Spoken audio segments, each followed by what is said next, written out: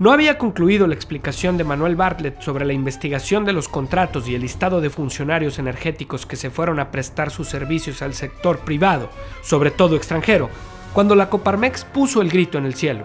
El director general de la CFE fue muy claro al decir que existe una danza de miles de millones de pesos que se desdibuja en los conflictos de personajes que ayer fueron ejecutivos en Pemex y CFE y que ahora prestan sus servicios a poderosos proveedores y contratistas de esas paraestatales.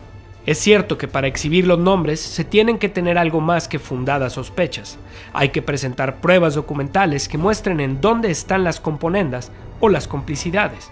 Pero tampoco se tiene que ser muy versado en el tema para ver con toda claridad cómo se asoman los negocios energéticos que hoy saquean las arcas nacionales.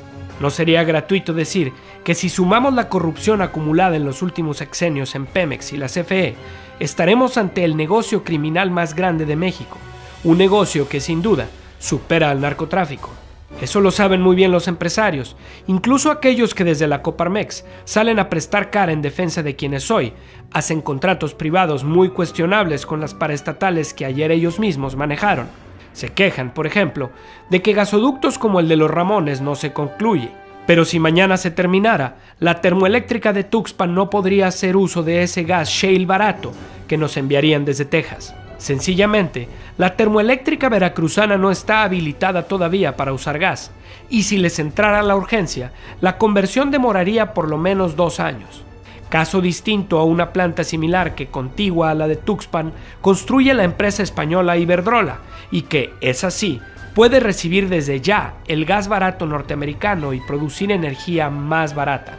¿A quién terminarían por comprarle gas los empresarios de la Coparmex? ¿A la termoeléctrica vieja de combustóleo y carbón caro de CFE? ¿O a la nueva y moderna planta que consume gas barato de Iberdrola? Más aún, si de verdad Bartlett quiere agarrar el toro eléctrico por los cuernos, que vaya revisando los contratos de compra de gas licuado por buques y los compare con los que se ofrecen por gasoducto desde Estados Unidos se encontrará que los mexicanos estamos pagando penalidades multimillonarias por contratos para adquirir gas en Perú a un precio 10 veces más elevado que lo que puede adquirirse ese gas en Texas.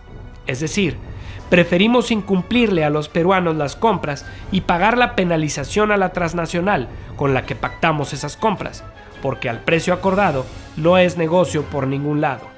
¿Se atreverá la nueva administración de la CFE a exhibir todos y cada uno de los absurdos contratos, sus montos, pagos por millones de BTUs, cuáles se cumplieron y cuántos fueron abortados?